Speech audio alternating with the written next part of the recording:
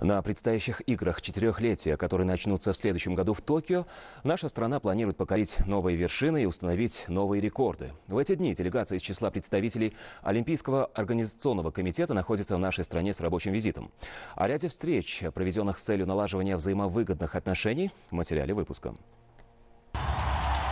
32-е летние Олимпийские игры пройдут в Токио с 24 июля по 9 августа следующего года. 205 стран-участниц, более 12,5 тысяч спортсменов, 33 вида спорта, свыше 40 спортивных объектов и 324 комплекта медалей. И это лишь несколько цифр, касающихся предстоящих Олимпийских игр. Несмотря на то, что в столице Японии идет полным ходом подготовительный процесс, в нашу страну прибыла делегация во главе с вице-президентом Оргкомитета Олимпиады Ташиаки Энда, поскольку ранее ранее был подписан меморандум о взаимопонимании с Национальным олимпийским комитетом Японии и Федерацией футбола. Основной целью визита господина Энда стало поднятие взаимоотношений на качественно новый этап сотрудничества. В ходе доверительной беседы отмечалось, что представители многих стран очень эффективно используют совместные тренировки для членов национальной сборной. В частности, опыт Японии может быть весьма полезен также в обучении дзюдо и карате. В свою очередь, гость выразил искреннюю благодарность за теплый прием и отметил важность дальнейшего развития взаимовыгодного сотрудничества. В связи с этим он намерен поддерживать соответствующие предложения и инициативы узбекской стороны.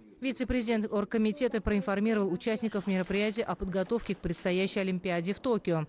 В этот же день Ташиаки Энда посетил Ледовый дворец Хуму-Арена, уже ставший визитной карточкой столицы. Ознакомившись с возможностями и потенциалом уникального ледового комплекса, он отметил, что наличие такого рода спортивных сооружений – свидетельство большого внимания со стороны государства к развитию спорта.